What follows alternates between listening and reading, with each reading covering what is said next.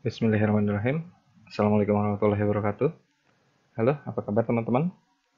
Uh, untuk sekedar melengkapi tutorial-tutorial kita di channel kita ini, uh, sebetulnya uh, kita, uh, saya hari ini coba mau share cara membuat stempel di Corel Draw.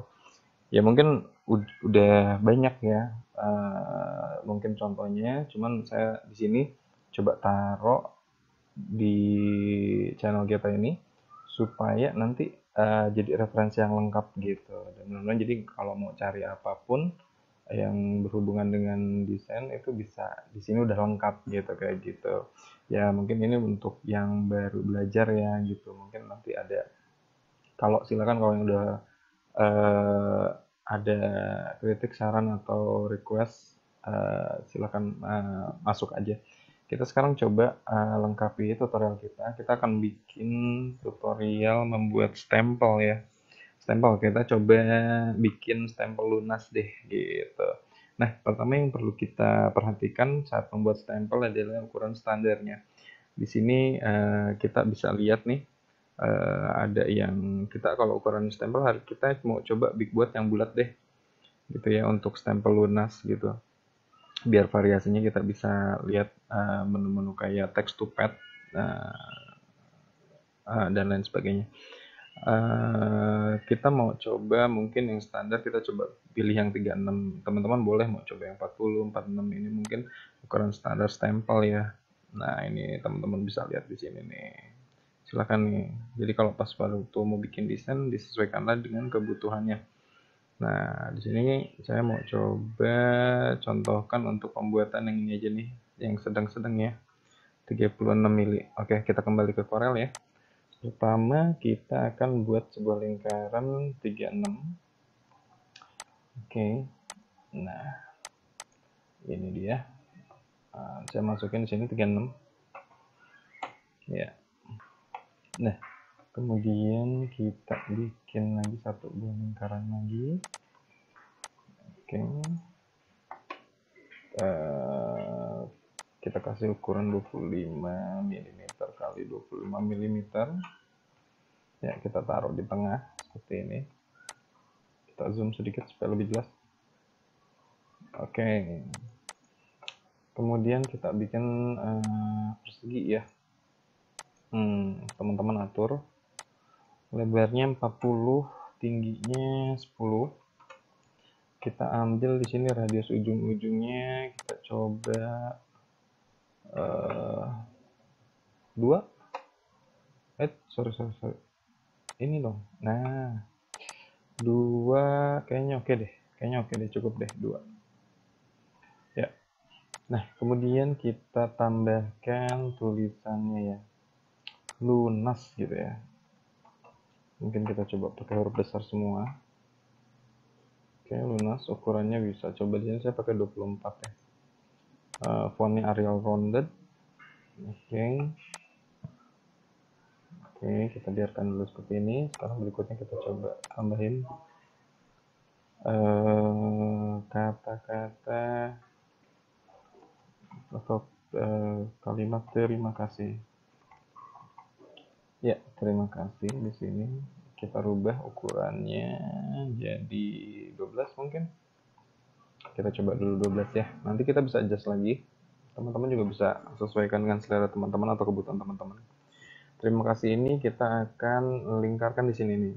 Nah, caranya mungkin kita pilih teks, kita pilih font, uh, kita pilih teksnya dulu, kita select. Nah, seperti ini kemudian klik pilih menu teks dan fit text to pad nah kita taruh di sini nih. Ya kita adjust. Ya kurang lebih. Oke okay, sesuai kebutuhan ya. Nah kalau dikira oke. Okay. terima kasih. Oke. Okay. hmm kalau besar semua lebih bagus nggak nih? Ya terlihat lebih rapi ya kita pakai yang lebih besar. Nah kita coba lagi untuk tulisan nama tokonya. Nama tokonya apa ya? Hmm? uh, Unit sama store kali ya. Ya apa aja ya? Nanti ini sesuai kebutuhan. Kita coba 12 mungkin kita bisa 10 10 nah ini kita sekarang kita pasang di sini. Caranya sama. Kita select dulu teksnya. Pilih teks. Pilih fit text to pad hmm. oke seperti ini ya. Saya mau coba kurang ini 9 oke 9 kalau teman-teman nggak mau tulisannya terbalik seperti ini silahkan pilih yang ini nih. Coba mirror text. Oke tapi masih terbalik juga balikin lagi pakai vertikalnya kita balik lagi. Nah vertikal dan horizontalnya kita balik. Kita adjust lagi di sini sesuai kebutuhan. Oke nah segini cukup kali ya. Nah oke sekarang kita mempercantik uh, stempel kita nih. Mungkin kita kasih, bisa kasih variasi. Kita kasih variasi mungkin untuk lingkaran yang ini untuk lingkaran yang ini kita coba kasih lebih tebal ah oke. Okay. untuk fontnya yang ini kita balik warnanya. Kita coba balik warnanya bagus nggak nih? Misalkan ini kita kasih warnanya putih.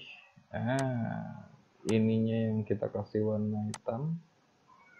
Nah oke. Okay. hitam kurang oke okay kali ya.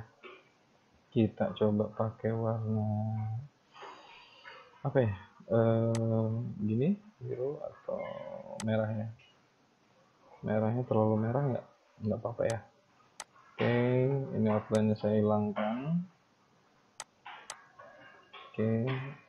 ini juga semuanya yang saya kasih warna merah. Oh sorry.